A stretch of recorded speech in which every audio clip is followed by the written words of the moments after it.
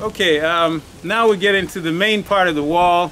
And um, once again, you'll see a kind of eclectic mixture of African ancestors. And um, I'll tell you a little again about why some of these were chosen. Very first here is Eve. Eve, the mother of humanity. Now, I know a lot of people in this group already know that humanity started on the African continent roughly 200,000 years ago.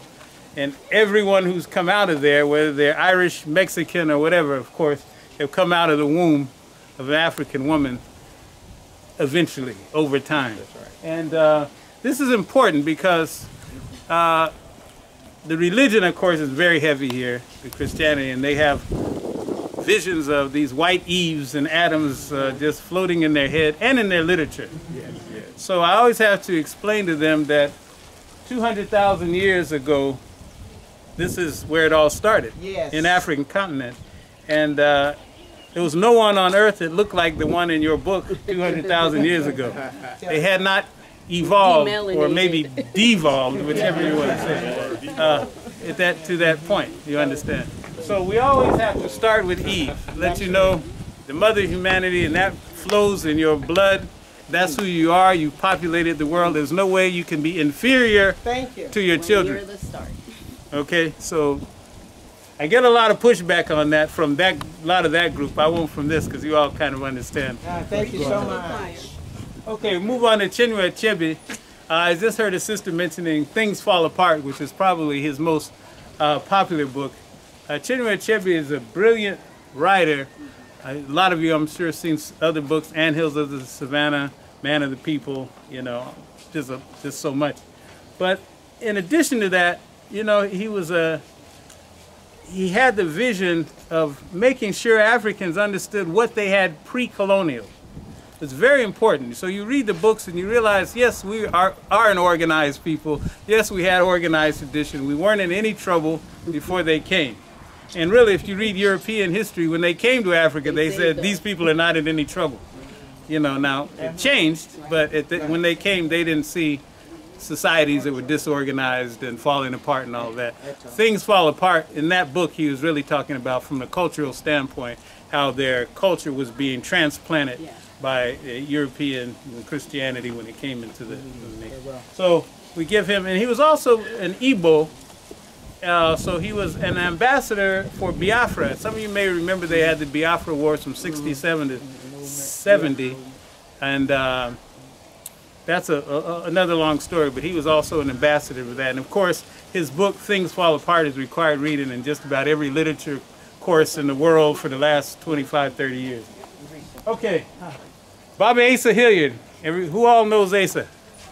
I knew a lot of people would know Baba Asa. Baba Asa got a lot of us on this road. Yeah, he did. I was 19 years old, thinking I was kind of a black radical. You know, you know, I mean, black power. And I heard Baba Asa do "Free Your Mind, Return to the Source," hey. and I walked out of that place like I was drunk. I didn't know what happened. Tell it. And he sent me handwritten, because we're talking 1979 or something now, okay. 80. Uh -huh. Handwritten bibliography, you know, notes and everything to where to start reading. And I know he's done that so thousands and thousands of people. So, so many of uh, Garvey's cubs are out here, but we got a lot of Asa cubs out here too. And we always give praise and honor to Baba Asa Hilliard. The name and, Nana Baffour. Uh-huh. Uh, because he was installed as a chief here in Ghana. Yes, he was. That's and, why I put Ghana too, but I couldn't. oh my goodness, to gracious! Get all of this stuff there. He's one of my guiding leading ancestors right now. I have to bear witness. Right. Nana Baffour, Asa Grant Hilliard III, took me to Kemet. I got my right mind back from that. And uh, one of the brothers asked me for a reading list of Nana Baffour's books, which you might be able to help me with. I have the one of the Maroons. But coming out of Atlanta, Georgia, U.S., I would not be sass if I didn't acknowledge my nana. All right. I received his returns when he came back after he transitioned. I never forget it because I never did anything like that before. But because he took me to Kemet, Nile Valley, uh, I think it was a dozen years ago, his wife, Mayor Patsy Jo Hilliard, out of East Point, Georgia, Nana Asa, Grant Hilliard III, his family, all of those in Atlanta right now. the, the school is there after him in honor of him. But when he came back, I, I have to say this, and I'm gonna make sure I come back. However, when he came home, I've never to this day been or seen anything like it in North America. When When he came back, that was the last time I saw Doc Ben. And when Doc Ben came into the room, I was there. oh my goodness to gracious, everybody was there, remember? It was a two-day. We, there. we do. We, we know who and whose we are, and Nana Baffour and all of the uh, Association in African Civilization, right when he transitioned in ancient Kemet, where he, you could see it in the last video, Mm-hmm. he was being who he's being, our Nana Baffour, here, you know, in this region. And I, I just thank God for him. We can say his name, Nana Baffour. Nana Baffour. One more time, Nana Baffour.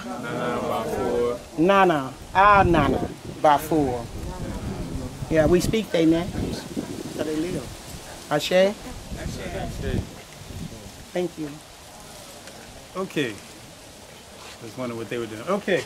So we could talk forever. That's why I said these things can go on for a long time if we let them. Uh, but that's Baba Asa. Uh, yeah, Santiwa. You all will learn more about. You all going to Kumasi or no?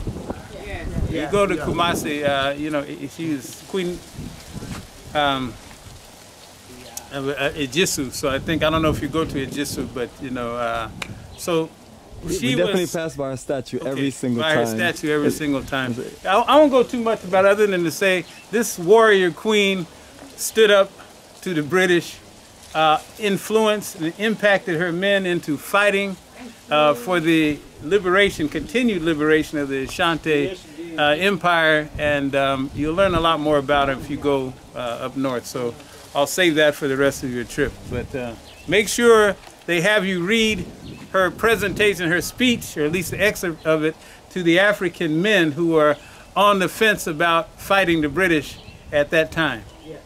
Make sure they read that to you.